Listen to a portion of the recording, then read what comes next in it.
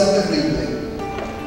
Un silencio nos, topó, nos tomó por asalto. La tristeza se transformó en un hecho inverosímil. Demasiadas lágrimas para tanta creencia. Cada angustia se encontraba con otra angustia, ahora compartida, también disipada. Furias y penas comenzaron a expandirse nada de clandestinidad, sin ton ni son. Un amor desbordado se había llenado de nostalgia. Patria, patria, patria querida, apenas alcanzamos a balbucear, mascullamos lágrimas que no entendíamos y nuestras caras, todas, eran puro asombro. Un sollozo se inició aquella tarde que parecía tan común, tan tarde. Esa tarde se transfiguró en un punto de inflexión histórica. La memoria se apropió de aquella fecha desmedida, insólita, necia, porque era como la muerte, mientras más muerte, más necia. Aquel 5 de marzo coincidió con sucesos históricos. La camarada Elena Ron, dos años antes, había partido en igual fecha. Aquel camarada histórico, Stalin, José Stalin, partiría en fecha semejante 60 años antes en Moscú.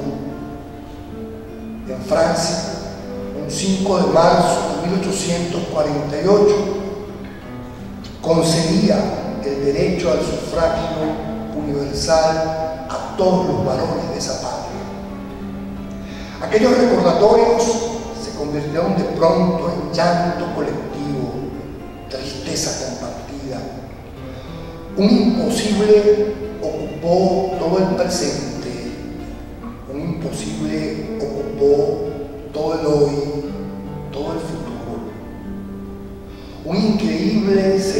contundentemente presente. Los rostros se tiñeron de lágrimas.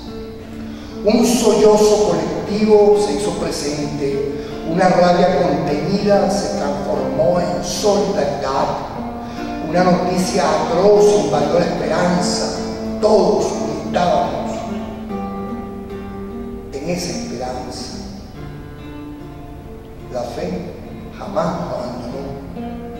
La memoria se nos vino con toda su nostalgia la fuerza, la fuerza colectiva del pueblo, agradecido, elevó sus cantos, sus oraciones, sus tristezas, sus evocaciones, sus encuentros, como una petición de permanencia.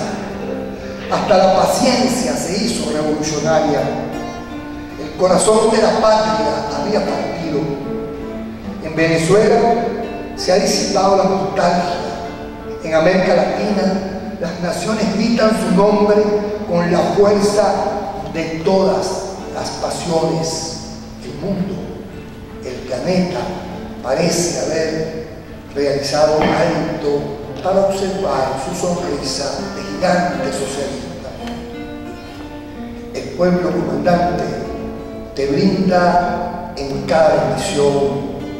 En el llanto del niño que reclama cuidado, en aquellos pacientes que evocaron tu mano solidaria, el pueblo te hizo suyo en cada canto popular, en cada rima, en cada verso, en los poemas de amor que saben soñar, en la unidia callejera, en las rimas disipadas, en cada bote que sabe desprender mañanas de olas y rayos de sol.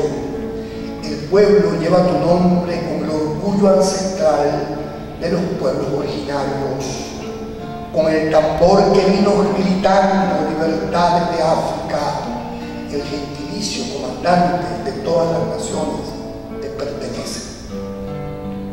El pueblo te hizo hermano en cada familia étnica cada familia vecinal.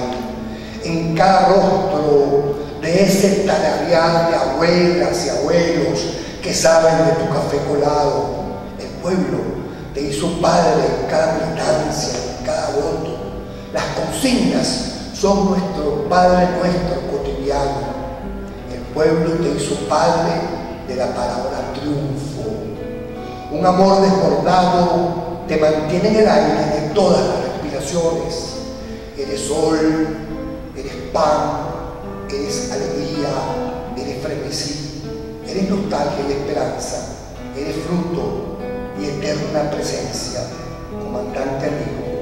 En esta comunión de almas, la tuya y la del pueblo, te decimos hasta siempre, comandante de entonces, comandante de siempre, comandante